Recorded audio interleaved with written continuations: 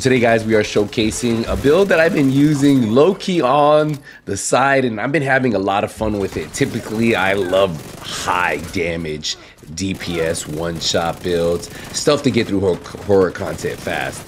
But sometimes I like builds that give you the ability to survive almost anything and just play the game a little bit different. As you guys are seeing, so much armor and still pretty good, decent survivability. And that's what I'm having fun doing with this one right here. So as we're building our stacks, we are going to get stronger. When I say stacks, you'll see that I do have the little memento build. And you guys know the more stacks, the more survivability you get, right? And DPS. And you'll see that in just a few. I am literally just running through these guys, right? Um, pretty solid. This is probably a build that a lot of you guys could put together and maybe not have the exact expertise, but you'll still have the same type of survivability. And then obviously as you get your expertise up, the weapon will get stronger, so the build will be a little bit more effective. What I love about this honestly is just the bonus armor and the constant regen we're getting on this building. And you're gonna see it's pretty impressive. We're sitting about, I wanna say 135,000 armor regen on the build. And we'll show you that in a second. But every time I pick up a trophy until I'm at max stack, I am becoming stronger and stronger and stronger. And that right there is why this is cool. Now you'll notice my damage really gets stronger when I do have bonus armor. And well, there's a reason why. Not because just the memento, but because of the talent I am running. But overall, I think a lot of you guys are going to really enjoy this one. What we'll do is we'll do the full control point so you guys can just see, hey, it's very effective if you need it to be.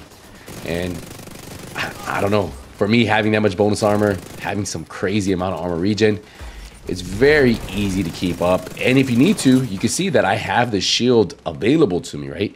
The shield is always there. It's kind of like my safety net. If I need to use it, I will use it. Do I always need to use it? No, it's just not something you need to do. But it's there when I do need it. And that is what makes this tank survivability build so fun to use and allows you to survive. And I think we just have two waves left. Yeah, we got some enemies over here that we just need to take out. And then we'll dive right into the build. I have a full build breakdown for you as I always do.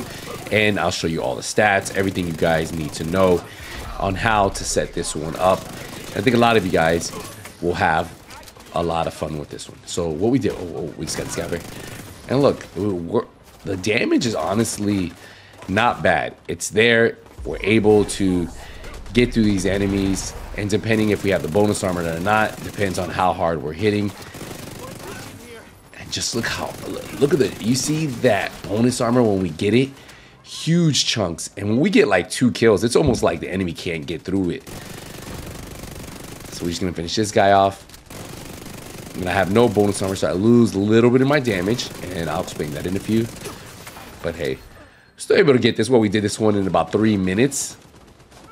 A little over three minutes. Not bad, right? Heroic control point, three directives. Finish him off. Boom. And then we just have, I think, one guy over here. Oh, this guy. And then I think we're done. So here we go. You guys saw the build in action. It's probably one of the funner builds to use, especially because it has so much survivability and you wouldn't expect it to be able to put out some type of damage like this. It's not something that's going to be the greatest DPS build, but it's going to have a lot of survivability and allow you to mow down these enemies pretty effectively. So let's get into the build. So for the mask, we are running the chill out mask. If you do not have this mask, well, you can just run a regular Gila Guard mask. And all the difference is I get two mod slots, so I have all crit damage mods. If you're running regular Gila Guard mask, you're gonna have a crit chance roll, crit damage, and a crit damage mod on there. 170,000 armor on this one. We are running a three-piece Gila Guard, so this is gonna give us total armor, 60% health, and 2% armor regen. You can see we're at 2 million armor, right? 625,000 total health, which that allows us, if we do get in those areas where we're struggling, we can pretty much still survive a little bit because that's a ton of health that we have on this build. For our chest piece, we're running uh, a Golan Gear chest piece. It's the name chest piece, so the Hunter Kill, the one you get from completing the 1300s in New York City. We have a two piece, so the two piece is going to give us that 1.5% armor regen. So you see we have 2% on one, so we're sitting at 3.5% armor regen on this build already, and a little bit more in a second. We have armor on here. We have critical damage. We have armor regen, and we have a critical hit damage mod. Now we do have perfect intimidate here. When you have bonus armor, you gain one stack each second up to a max stack of 10. Each stack increases your weapon damage by 4%. So that means you can have a total of 40% extra weapon damage on this build when you have bonus armor. And we're going to have a lot of bonus armor, and I'll explain why in a second. All stacks are lost when you have no bonus armor. So we do have armor, crit damage, armor regen, and critical hit damage mod. For our second piece of Gila Guard, we are running the holster and we have armor on here. We have health. You could put armor regen if you want to have a little bit more armor regen. You can have put health if you want to have a little bit more health. Up to you. And then a critical hit damage roll. For the knee pads, we have our sec our third piece of Gila Guard. So we're gonna have armor. We have health on here. You can put armor regen again if you want to have a little bit less health. And then we have 12% critical damage. Remember, we have 60% extra health. So if we start adding those health rolls, it's going to give us nice chunks of bump in health, depending on how you want to run the build. For the gloves, we're running the Golan Gear gloves. This is going to give us armor, critical damage, and critical hit chance on here. And then for the bag, we have the Memento Backpack. That's where we're getting more weapon damage, more armor, more skill tier. And then obviously we have 6% crit chance mod rolled on here. Ideally, if you run that regular Guard mask, um, that I told you, you don't have the chill out mask, well, then that's where you put crit damage here because you're to have the 6% crit chance on the other piece. Doesn't really matter. I just put that piece there.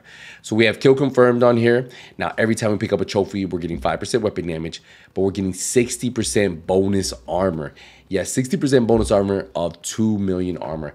That's why when I get like one or two kills back to back, you see those chunks of armor just really stack in. 5%. Um, we're also getting 5% skill efficiency. Now, don't forget, once you get 30 trophies, that's a 30 stack, and you can keep that for 300 seconds every time you get one more kill, one more kill, one more kill, right? So we have 30% weapon damage additional, right?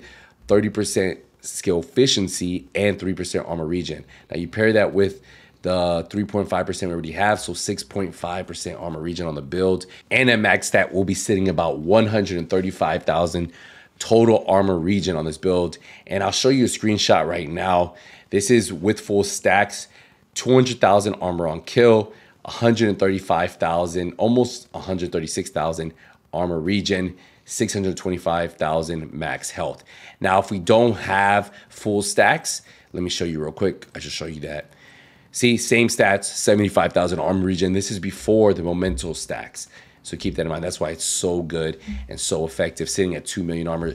So much survivability, and we still have the damage because if you look here, 53% crit chance, 151% crit damage, 70% headshot damage, plus we have the 10% damage targets out of cover. So even though we're not just shredding through enemies, we're still performing really well with this build, and that is what makes this build good.